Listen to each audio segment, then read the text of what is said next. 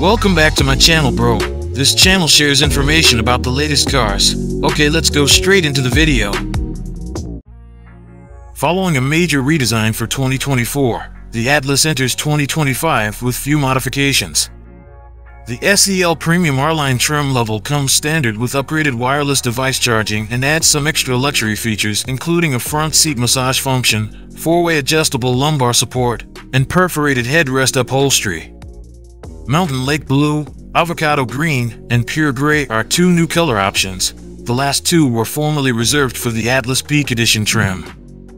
The Volkswagen Atlas is like a more contemporary take on the classic station wagon. It's roomy inside, seven people can ride comfortably, has three rows of seats, can pull a trailer weighing up to 5,000 pounds, and has a nice but unremarkable exterior. The overall cargo space, even with the second and third rows folded flat, and the legroom in the second row are also remarkable. That's great news because, despite being roomy and utilitarian, the interior fails to impress with its lack of authentic flair.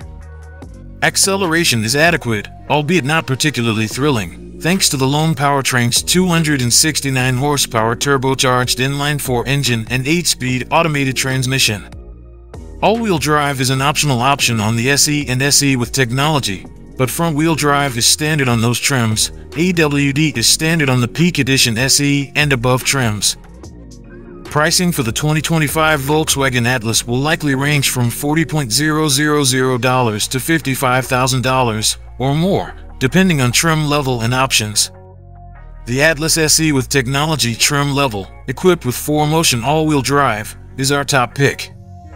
This trim level adds features such as a trailer hitch package, third row USB charging ports, remote start, and 20-inch wheels. The SE has 18s.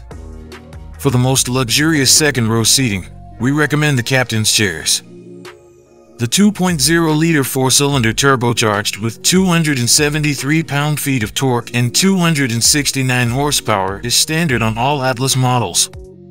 It is available with either front or all-wheel drive and an 8-speed automatic transmission.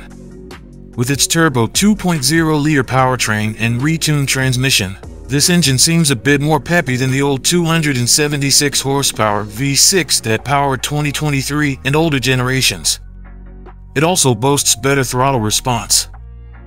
Even when competing with other very practical options, the Atlas stands out because to its family-friendly cabin, easy-to-understand control arrangement, and plenty of cup holders. Plus, it's a win-win if the third row of chairs can easily accommodate people. The Atlas's cabin materials have been upgraded for 2024, but the design is still simple and functional, making it ideal for families but not so much for style enthusiasts. Much obliged for tuning into the AutoFast channel. In order to make sure you don't miss any new information regarding amazing cars, please subscribe and hit the bell button